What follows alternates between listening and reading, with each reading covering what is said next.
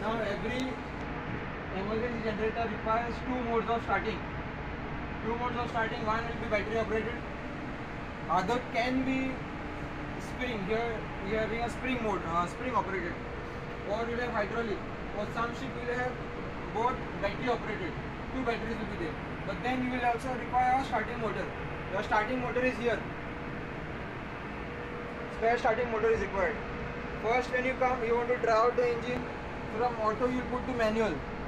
Different shift, different different methodology will be there. Here you having the changeover mode is here. Or sometimes you will have on the panel or sometimes you will have both places. Then this room is having one supply fan. The supply fan should be on. You can hear the sound. It is on. Then battery switch. If two batteries are there, battery switch will be there to select which battery. Number one or number two. Now what you have to do for battery starting, you first put in manual mode, start, it will start. Understood? Every Saturday routine you have to try out both modes. Then second mode is what you do.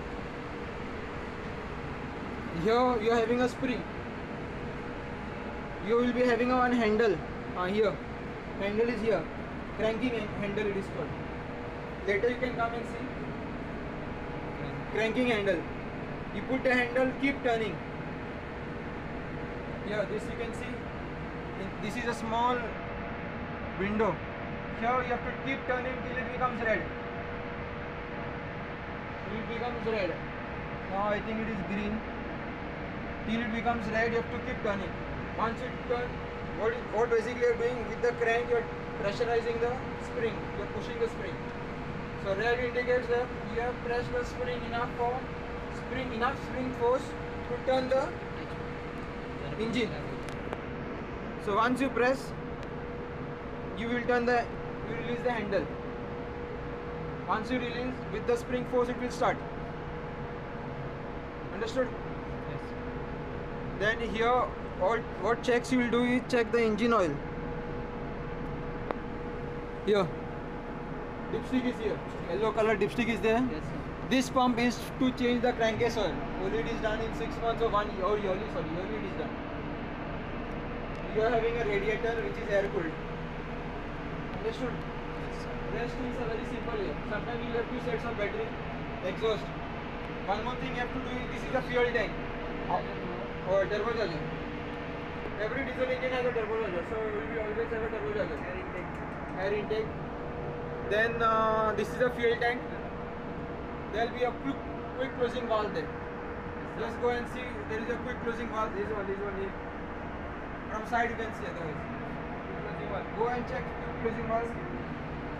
And outside there will be a lever to uh, close the quick closing valve. You can go outside and see. Then check the emergency switch code. This is called the emergency switch code. Basically all your supply, your normal supply is also going through this. Inside here there will be a breaker. If you put off, automatically emergency generator will should start. Or it will be there inside your engine room. Two places that uh, tie breaker will be there. Basically, it is called tie breaker. Through that the power supply is going. Once you put off the breaker, that means the power supply to this panel is gone. What it indicates that the supply for main supply is gone. What this panel understands that supply is gone. My job is to start the generator, so it will start the generator. So basically, that is the job of the tie breaker.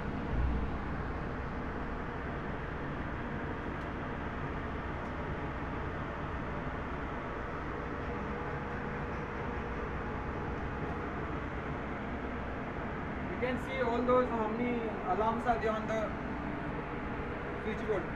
We are- will be having one tachometer, one uh, high temperature for cooling water, high temperature for Dubai, and some other alarms also will be there.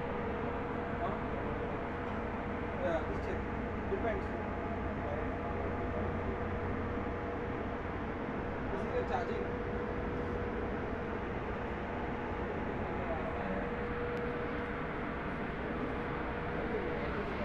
And we'll be having a four-wheeler fire इसमें DC में charging होगा not five hundred. Uh, fire Fire. reporting manual call point manual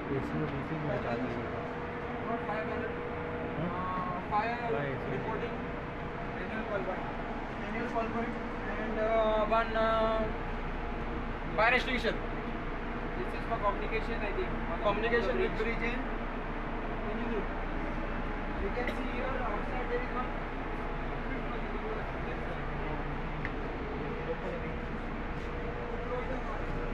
all quick closing all quick closing valve once you activate first you have to close them fully close the handle fully turn turn turn and close then you open